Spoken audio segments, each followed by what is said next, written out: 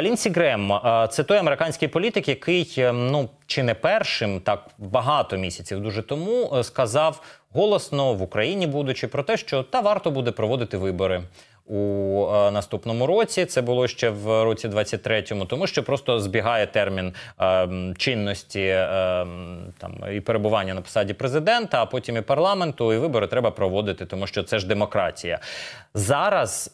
Треба наголосити, і це дуже важливо, що сам Лінсі Грем навіть під час останнього візиту він наголошує, що він знає, що відбувається на фронті. Він знає безпекові виклики, і він знає, що вибори провести не можна. Сам він знімає цю тему. Але ми пригадуємо, от ще навколо нового року керівник розвідки військової Буданов Кирило він зауважував, що за інформацією розвідки на Україну може чекати така буря інформаційна, певний тиск, вплив з боку Росії, коли Росія е, готує цілу е, атаку або війну інформаційну, і тиск саме політичний, тобто буде Росія хитати от ситуацію, пов'язану з виборами, з легітимністю перебування на посадах і так далі.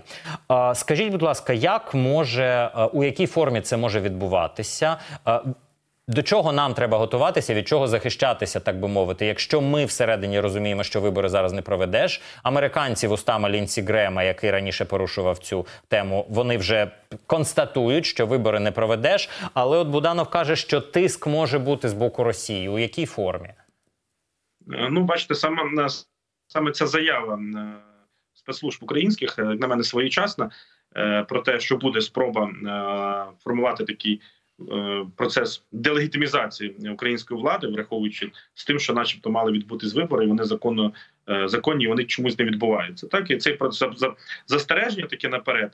Е, з озвученням там конкретних фактів сценарій, воно вже багато в чому спрацювало, спрацювало позитивно і збило цю хвилю багатьох тих, хто в Україні можливо був би готовий піднімати цю тему, е, таке е, бажання відпало. А що може робити Росія? Що вона робитиме? Це вже потрішки прослідковується. Просто у них зараз там набір своїх е, внутрішніх проблем, десь цю тему трішечки можливо відтермінував. Але що вони будуть?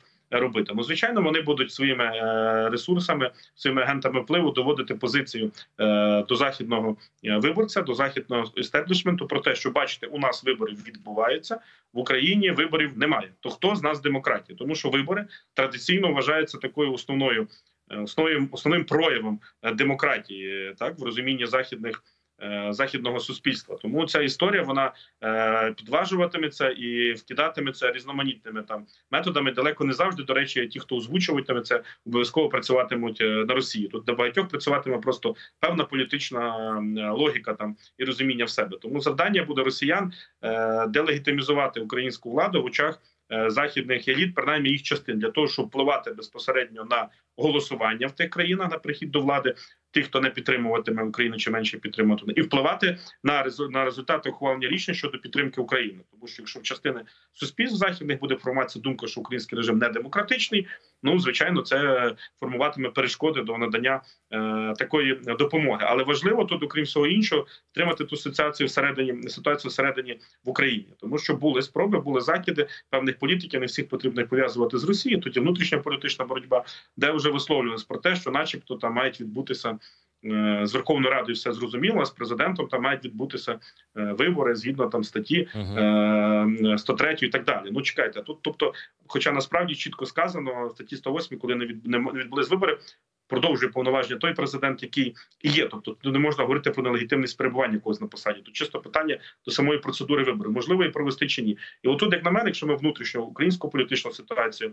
е, вникнемо, де можна було би проблему вирішити, якби було вчасно е, звернення в Конституційний суд, можливо, іншими механізмами, давно чітке роз'яснення, що вибори не можна провести і як тоді би зараз виникало напевно е, менше питань. Можливо, цю процедуру можна запустити зараз. Також є питання, що ніхто не знімає політичну боротьбу навіть у час війни всередині е, в державі. Так вона не може там мати такі різкі форми, але вона є, вона е, присутня. Тому для того, щоб зняти цей градус політичної боротьби, коли електоральні симпатії зараз не такі, як розклад у владі, так в парламенті -huh. загалом можливо, варто було б шукати варіант перерозподілу влади. Ну що на кшталт уряду національної єдності, можливо, це там така фраза заїжджена, але тим не менше, десь розподілити владу, виходячи з теперішніх електоральних е, електоральних е, тенденцій, враховуючи звичайно розклад, який був сформований зараз уже в парламенті, там в уряді, тобто, щоб ці градус цієї небезпеки е, знімати. Якщо цими політичними механізмами все це буде е, зніматись, то ну я переконаний, дуже складно буде окремим там Мгм. особам, які відверто вже працюватимуть на Росії, розкачати середню ситуацію Мгм. в Україні. Це вже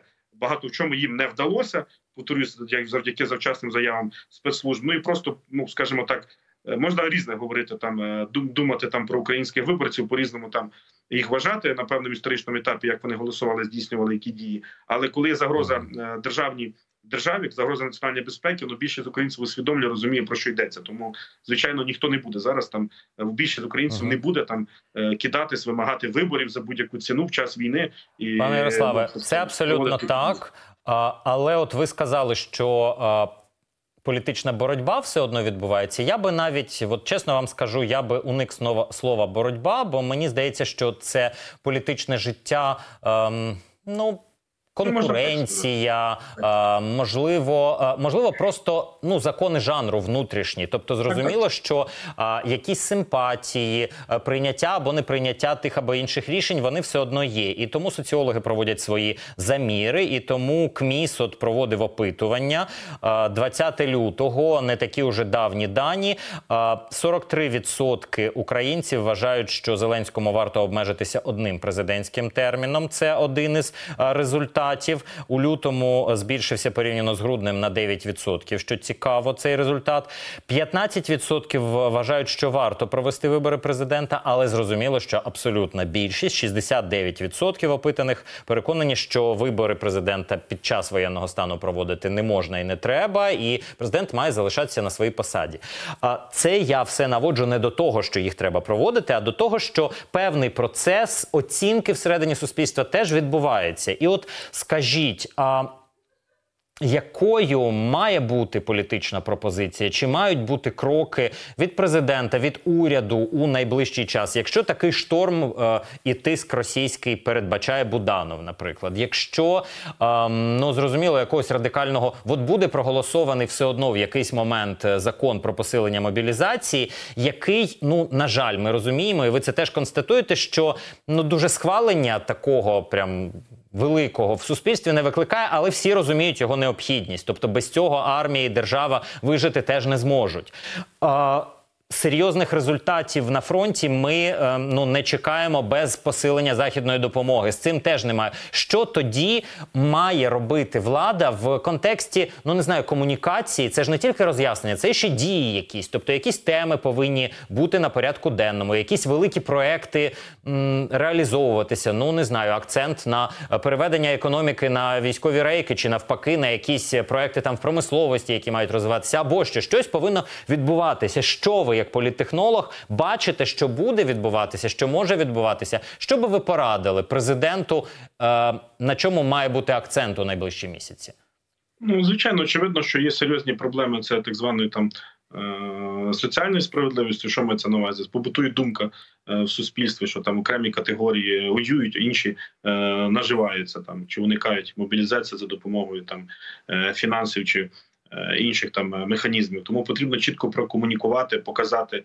Е- Хто воює, як воює, тому що не згодне з тезою тією, що воюють там тільки бідні, там і так далі. Дуже строкате українське військо, в якому дуже багато успішних людей, і так далі. Тобто потрібно чітко це доводити, показувати. Так само, звичайно, наводити порядок. Ну зараз ідуть е, е, слідство там так далі. Міні- щодо слідстві слідчі дії щодо міністерства оборони зловживань попередніх. Там е, багато про те інформації доноситься, але очевидно потрібно показувати, демонструвати, активно діяти, виносити відповідні вироки, е, так далі. Тим, хто дійсно наживається під час війни е, на ну на там, скажімо, корупційних різноманітних діях. Тобто чітко показати от суспільству, що ведеться тут боротьба, і всі перед законом, е, всі перед законом рівні. Це один такий, це найголовніший і важливий, напевне, аспект, який би дуже багато зняв там десь е, пересторог там. е, Щодо е, там небажання, ну пере- пересторог там е, певних е, в суспільстві, але є ціла низка інших там е, дрібніших дрібніших причин, які там потрібно усувати. Зокрема, в законодавстві ми говоримо про мобілізацію. Там є і здорові норми в ньому, зокрема там е, щодо роботи ТЦК, коли фактично, якщо це законодавство буде ухвалене, там е, багато громадян будуть там ну повинні самі завитися в ті центри, центри комплектації. Це зніме напругу, очевидно, у цих е, дій на вулиці, які ми часто бачимо, так далі. Мгм. Тобто багато є речей, які робляться десь і мали би робитися. Але я тут напевно трішки навіть скажу е, під іншим кутом, в чому велика є небезпека. От питання легальності перебування е, на при владі е, Володимира ну е, Зеленської та діючої команди Слуг народу в цілому. Ну тобто не виникає, е, тому що ну є законодавча процедура. Вона була дотримана приходу до влади. Зараз провести вибори неможливо. Стаття статті конституції регулюється, що відбувається далі. Тобто Мгм. повноваження продовжується. Тут питань немає. Пане. Ярославе, а можна а от є щодо питання цього. легітимності.